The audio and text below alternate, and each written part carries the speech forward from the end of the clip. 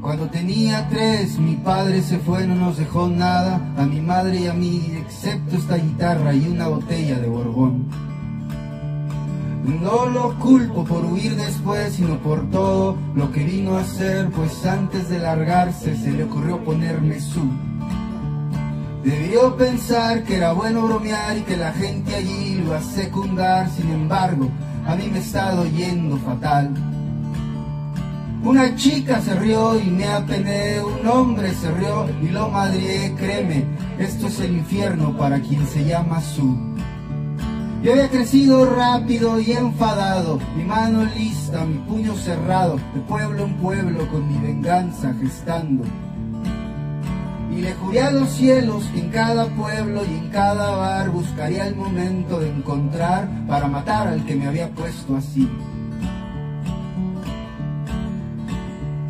Era 10 de julio en Gatlinburg, recién llegado y con la boca seca, así que pensé en parar por una o dos cervezas. Era una vieja taberna de mala facha y ahí en la mesa, jugando cartas, estaba aquel cabrón que me había puesto así. Y sabía que aquel era el viejo mezquino por una foto que ya había visto por el surco marcado en aquella triste cara. Era grande y feo, sucio y viejo, lo vi y se me lo el cuerpo, le dije, yo soy su. Buenas tardes, vengo a matarte.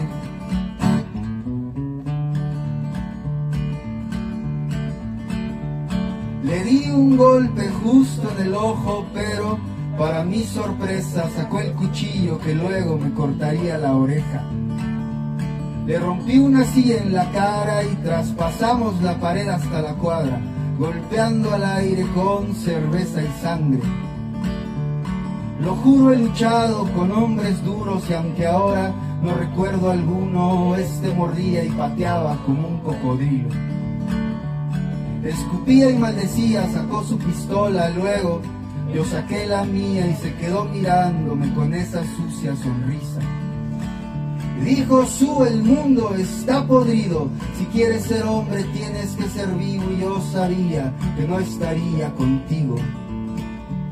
Así que me fui, te besé y te nombré y supe que después de todo aquel nombre de niña te habría de volver realista. Y ahora que acabas de partirme la cara y sé que me odias y sé que no alcanza, te digo incluso que si me matas, no te culpo.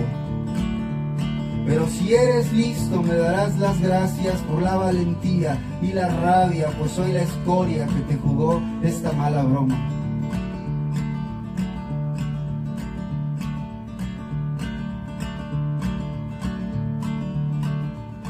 Me quedé sin habla y arrojé mi arma, le dije padre, me dijo hijo y salí de allí con otra visión y tomé otro camino. Y ahora que pienso sobre todo esto, y si es que debo, y si es que tengo alguna vez un hijo, voy a llamarlo Lázaro o Cristóbal, todo menos su.